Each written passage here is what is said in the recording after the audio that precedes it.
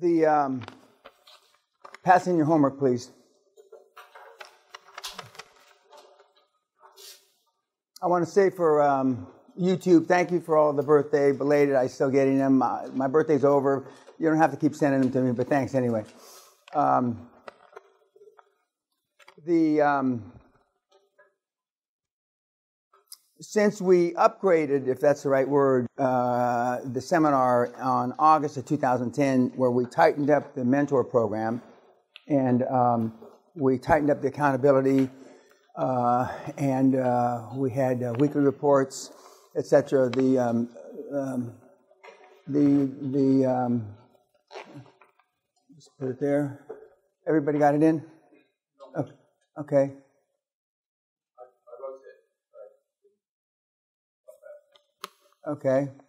Is there, uh, I'm not interested in the reason, okay? Um, every day somebody will fuck something up.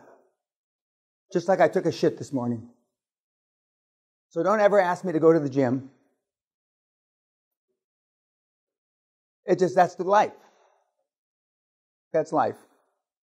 If we were at war, we'd be dead. I want to thank um, uh, we have a uh, active duty uh, Air Force captain, and we have a, uh, a, active reserve. I don't know how to say it in the Canadian services, but uh, and I want to thank him for his service. And the but getting back to what I was saying, since we tightened up the the program, the, the results that we um, that we calculated for my 25th anniversary of QLA, which was last May the 23rd, were um, I knew that they were better. I didn't know how fucking much better they were they're off the chart. If we were a stock, I mean, our stock chart would be like this. Now, um, but in conjunction with that, as you know, some of you, how many of you have I, did I see out in the real world before you got here? I met with you. Okay. And the, uh, and I tell you, you ask me questions, we have 20 or 30 minutes, and I tell you what I think, and most of the ideas that you have aren't, sh- aren't worth shit. Okay? And I tell you that. Uh, the, um, and I tell you, sometimes you ask me what I call life questions. And I normally tell you you're fucked up, because you are. Because I'm the last guy that you come to see. Now, some of you think, or not some of you, most people in the world think that I'm expensive, which I'm really not, but the, because uh, we've had people come to the seminar, at the end of the seminar of the week, they've given me a check for $100,000. And this is before we had the mentor program. because that's what they thought minimum was going to be worth to them. Now, in both cases, both of those guys became billionaires. Now, were they betting on themselves? I don't know. And see, you guys with a spreadsheet, well, why did they do that? It doesn't make a fuck. They had confidence. Most of you are here because you lack self confidence, you lack self esteem, you lack um, self worth, and some of you are here just because you want to get your willy wet, like I said last night. You can't get laid. Um, but getting back to, to the, the, stats, I get emails from people that I met, like several of you in this audience. Uh, and I got an email this morning from a guy uh, from Los Angeles. And uh, he, was he wanted to uh, make uh, the Muslim world right. Uh, and he either Muslims were misunderstood. Oh, eh, it doesn't matter. Okay? It doesn't make, I told him nobody gave a fuck you know, nobody gives a shit about Dalai Lama except the Dalai's followers. Nobody gives a shit. Well, I got an email from him today. Um, I'm in a long war and peace. You know, and when I tell you, when you do your weekly reports and, and when you do your homework, and I forgot to tell you this last night, err on the side of war and peace, meaning longer is better. Because most of you can't articulate your thoughts. So if I have more words to read, I can give you the more benefit of the doubt. Some of you, they think you're smart. We've got a PhD in here and a PhD candidate and God knows what else and a few MBAs. You're not. If you were smart, you wouldn't be here. But getting back, so I'm reading the email and I actually went through. Lewis, if you're there, I read your fucking email. But I thought I said you were a dipshit then, and you're still a dipshit. But then in this long email, War and Peace, he says you were right, Mr. Peña. Well, as Brian QLA Rose says, the old man's always right, which I am. You know, when you've lived as many years as I have, but more importantly, when you've been in as many transactions as I have. you know, you have to have learned something. And I stopped counting at a thousand deals.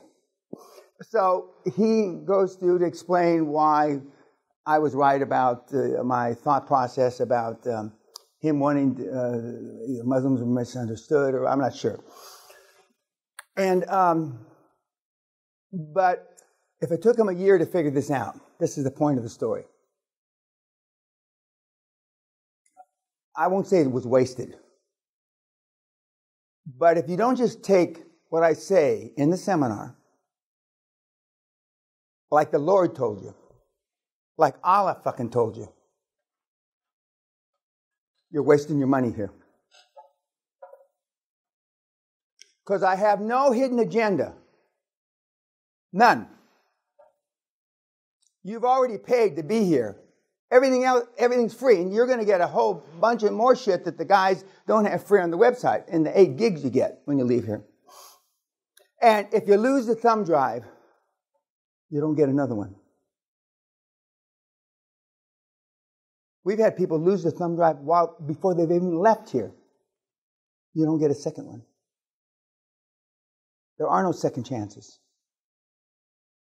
So I'm just telling you that. I don't give a fuck what happens to that thumb drive. You will not get another. And if I find out you gave him yours, you're out.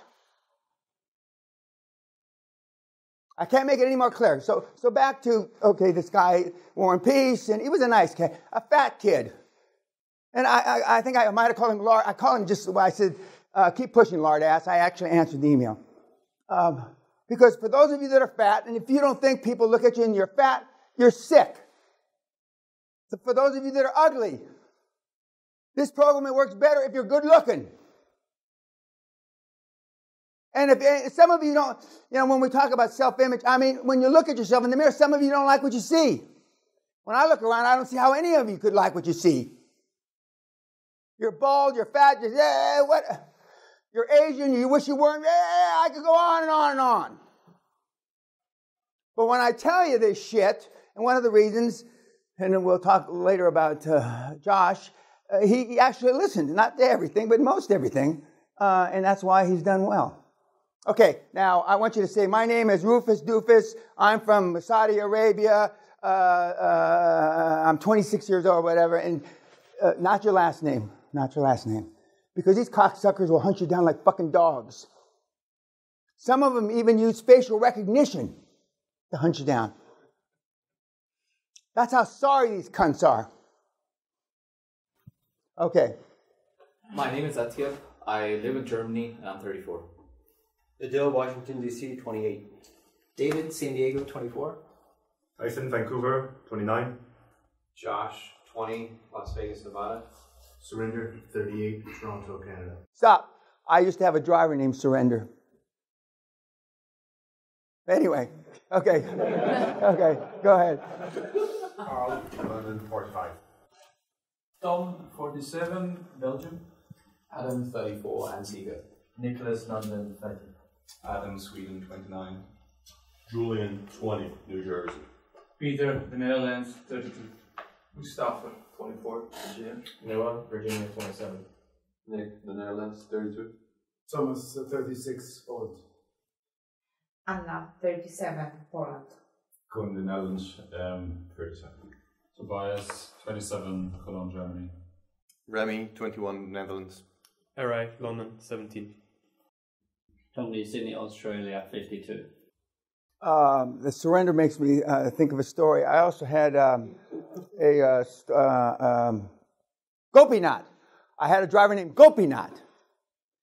And when I first met him, surrender, I mean, and it's spelled different, but, but anyway, when Gopinath and uh, one of my staff saying, um, the new driver is uh, Gopi. And uh, I said, okay. And when I call him Gopi, he says, well, no, sir, I, I rather you call me my whole first name. Well, Gopi's not, no, no, it's Gopi. No fucking way. Gopi, you've gone through your whole fucking miserable life being called Gopi not? now in India, it's a different thing. I understand, okay? But when I tell you, you know, uh, when I tell you some, the, the, some of these facts that we're going to go through, um, the, um, if you don't take it like gospel, you're going to be fucked. Fuck not that you don't ultimately succeed. I don't mean fuck that way, but fuck is going to take you longer.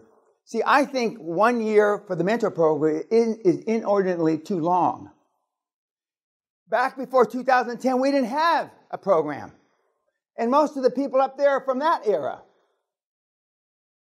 By the way, turn off your cell phones and don't turn on your laptops. Okay? We, we locked their phones up back in those days. They, they, didn't, they couldn't speak to anybody for a week. There was no mentor program. But they had a problem with a deal, not getting the chairman, not getting an industry advisor, they called me and I helped them. Now, some of you uh, uh, subconsciously think because it's a year long, you got a year to do a deal. And guess what? It'll take you a motherfucking year. The record is 99 days from leaving here, 99 days, a deal closed, money, funds transferred, the deal closed. That's the modern era. The old era was 120 days, pre pre internet.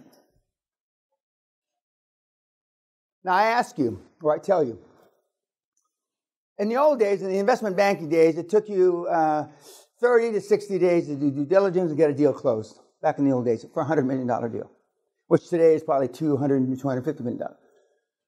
Pre-internet. Today, it takes 60 to 90 days to get a deal done. With the internet. Why? Anybody? Over analysis. Pardon? Over analysis. Absolutely, but I mean, because this era has none of these and they're afraid to make a decision. That manifests itself in too much analysis, but you're afraid to step up and be counted. Back in the old days, and not my day, but the generation after my day, you got paid by deals. You didn't get paid, you know, you got a, the salary used to be, and correct me for the ex Bear Stearns guy, it used to be $60,000 for a partner, and then it went up to $100,000 to a partner. Uh, but this is uh, pre bonus, and then it went to $200,000 a partner, all the partners. I wasn't a partner. And, um, and then they used to fight over how much money you got for bonuses. But if you didn't do any deals or you didn't create top line, which better have related into bottom line, you didn't get paid much. Now the salaries are too fat. People can live without bonuses. And they push out deals. 75% of all the deals done the, on the planet are done the last 90 to 120 days of the year. I'm going to say again 75% of all deals done on the planet are done the last uh, 75 to 90 days of the year. Why? Because they're pushing to get a year end bonus. They're, getting, they're pushing to get a Christmas bonus or whatever they call it. And the bankers are no different. They got to get money out the door. I tell the story, and it's not a story, it's true. Many years ago, I was sitting in the library uh, drunk with a guy that ran um, uh, Lloyd's in Scotland. And it was, he said, Dan, I'm 775 million pounds under invested. Can you help me out? This was about Octoberish. So again, the kid that wrote the War and Peace, if he had listened to me, which he ultimately did, but see, he's going to, and, and, and, most of you that I've talked to so far, I think I've talked to five of you, four of you. The exception was Josh, because I talked to him as well they, you didn't tell me this, but it was obvious to me uh, some of the things, um, and with you as an exception too, you were going to take it on board. Does everybody understand what take it on board means? You're going to think about it. You're going to see how it works vis-a-vis your personality, your life. If you're going to do that, you might you wasted your money coming here. I don't give a fuck what you think. If you were so fucking smart, you wouldn't be here. Again, I'm the last saloon in the last town, and the earth is flat. After Guthrie, it's the abyss. Because you, everybody in this room, with one or two exceptions, has tried every fucking thing known to man to try to be successful and create wealth. Some of you have have um, uh, what do you call it? Internet marketing, affiliate. God, what a fucking waste of time. I mean, but I got kids that have made a lot of money doing that, but they're not creating generational wealth. I've got kids making five, six, seven million a month with affiliate marketing. But they can't sell their business. That's not generational wealth. Remember, if you did your, and most of you didn't, if you read the shit that you were supposed to come here, 95% of all businesses that go up for sale on a yearly basis around the planet don't sell. Why? Because they're asking too much money for it, because they're trying to get rich off one transaction. Because they've listened to your uncle, your brother, your cousin. Uh, well, I'm going to put my money back in my business because I understand my business better than any other. That's horseshit. If your business is horseshit, you putting all the money back that you make back into it is still horseshit. So then you're trying to get wealthy off one transaction. So then when you go out and you're using the uh, QLA model to buy from motivated sellers, and we're going to talk about then, we're going to go definitively what a real motivated seller is. They're trying to get rich off one transaction, so they're asking two or three or four times more money than it's worth. And I'm here to tell you, you can buy businesses all day long for two to five times EBITDA. And we'll talk about what that means. And they're asking 15 times EBITDA. Because they've been in the business 35 years and they're fucking poor. Most of you that have businesses, you should just turn the key. Just, you're wasting your fucking time. Either that,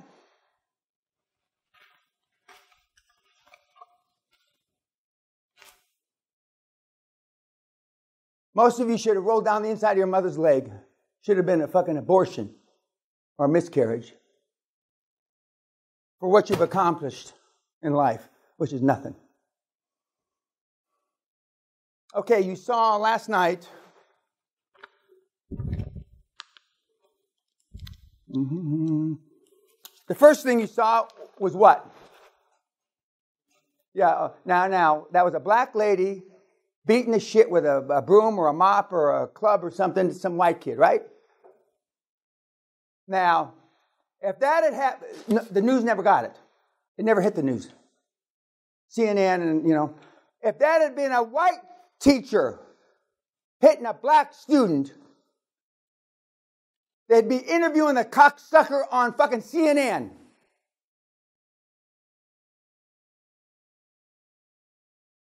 That's where we are in the world.